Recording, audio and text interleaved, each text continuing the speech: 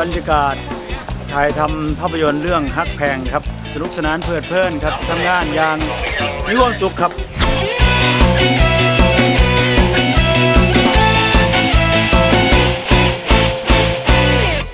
อันนี้มีแกงหอยขมด้วยนะคะที่กัมพูถนัดมากเรื่องจุ๊บหอยค่ะ อธิบายเพิ่งด้ศึวกย มาใหม่ๆแม่จุ๊บหอยได้ไง อย่างนี้นะฮะ เราเอาตูดก่อน เราเอาตูดก่อนนะเอาตูดมาเสร็จแล้วก็ประกบที่ปากนะฮะเออแล้วก็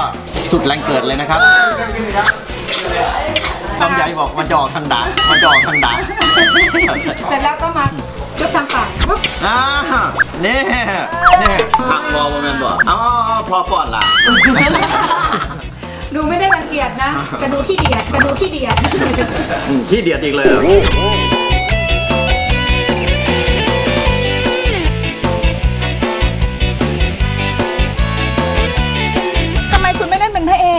บอเป็นพระเอกบ่บ่ได้เป็นผัวเจ้านะขั้นมาเป็นพอผู้ใหญ่อ๋อ เออเจ้าเป็นเมียผู้ใหญ่แมันบ่ล่ะเออ เออก็ได้เป็นผัวเจ้าไหมและที่สำคัญนะคะห่วงลูกสาวมากหักแพงหลายค่ะกอดทุกนะฮะมือกอดเบี่ยงมาแต่อ่อนแต่ออก จริง ๆ อยากสิอาบน้ำให้อยากสิอาบน้ำให้พุ่นละคุณพ่อจะอาบน้ำให้ลูกลำไยเลยเหรอโอ้คะยจะอยากอาบให้จนจนมีผัวอันตัวบ่ได้คิดหยังเนี่ยเออ พอบ่ได้คิดหยังสาบาน ของที่สาบานเห็นหยังเนี่ยฝนที่ตกนี่